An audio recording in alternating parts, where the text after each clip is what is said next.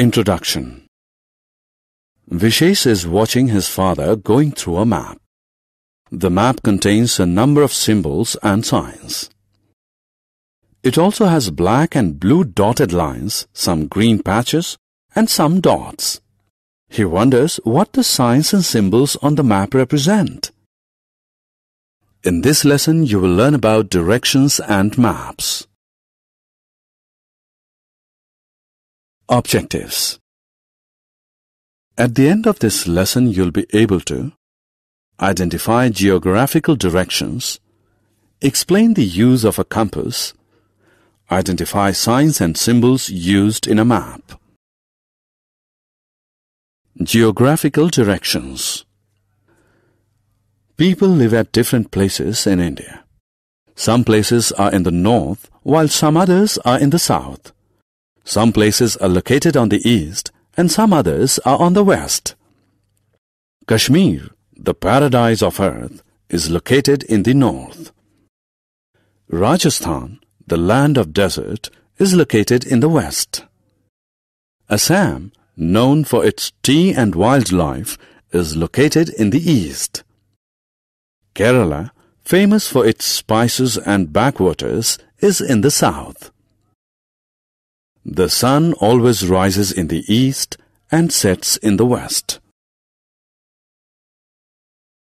Locating directions Compass is a device that we use to find directions. A compass has a needle that rotates to indicate direction. The head of needle always points towards north and the tail towards south. Sailors and pilots use a compass to know the directions in which they are moving. Left and right directions.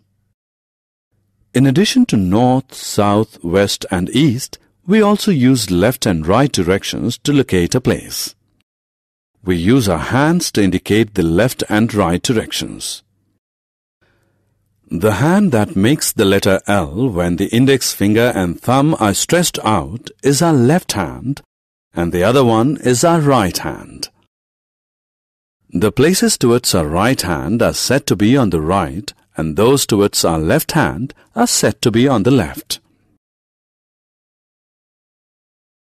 Maps We often face problems locating a new place. Maps are used to solve such problems. A map shows the countries of the world, their capitals, cities and towns.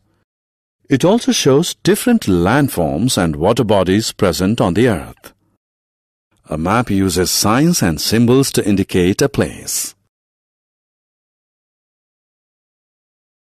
Signs and symbols Signs and symbols are pictures that are used in a map to represent places.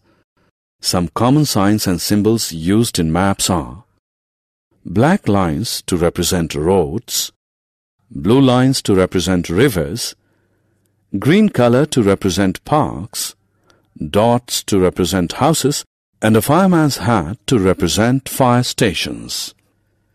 Signs and symbols help in finding a place quickly and also save space on paper. Summary Let us summarize what we have learned. North, South, East and West are the four main geographical directions. Compass is a device that is used to find directions. Maps use signs and symbols to indicate places.